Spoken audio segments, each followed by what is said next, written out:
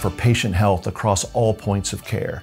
We're trying to untether patients from poles and leads and big pieces of equipment that keep them trapped in bed. We have basic parameters that we're monitoring respiration, heart rate, blood pressure. Traditional monitoring technologies are maybe non-invasive, but they're intrusive. We chose 4D Systems after testing displays from several different manufacturers. The product that we used was a 2.4 inch LCD display with a custom cover lens. This was designed by an industrial design firm working with 4D Systems so that the manufacturing process went smoothly.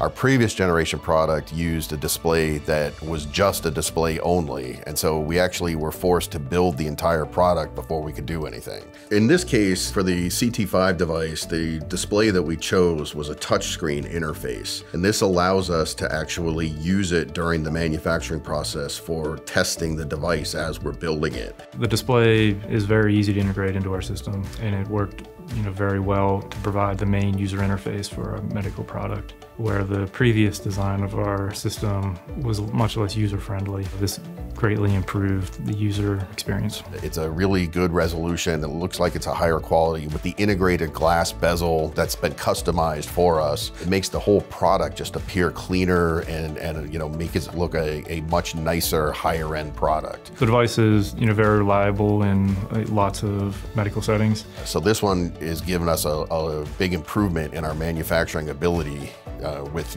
being able to use that touchscreen for various things while we're manufacturing the product. Not just monitoring events as they occur, but to anticipate crises in patients.